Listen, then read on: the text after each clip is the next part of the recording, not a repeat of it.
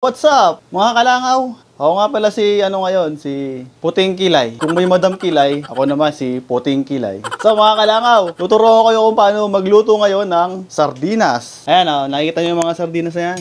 Lutuin natin lahat yan. Sponsored by Secret.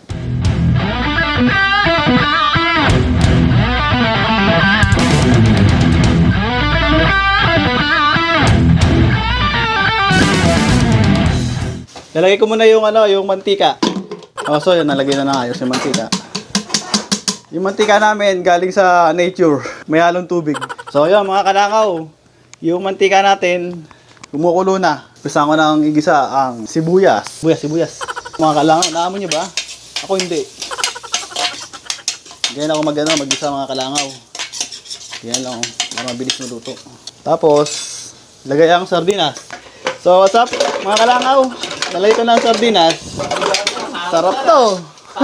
Sarap to sa mga kalangaw. Bali, ito yung bagong ano ngayon, luto ng sardinas. So, sara natin. Try natin ng one year. A few inches later.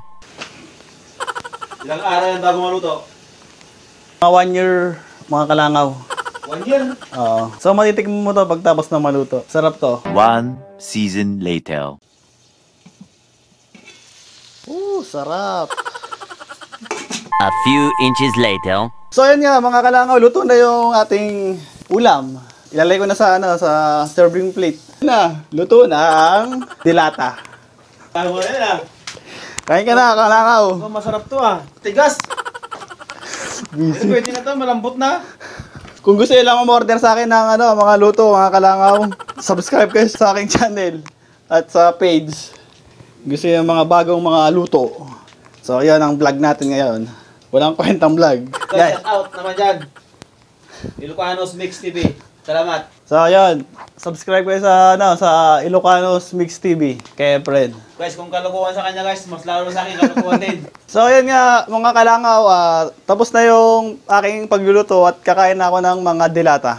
Please subscribe to my YouTube channel, Ron Vlogs, and follow my Facebook page, Puting Kilay, J Matron.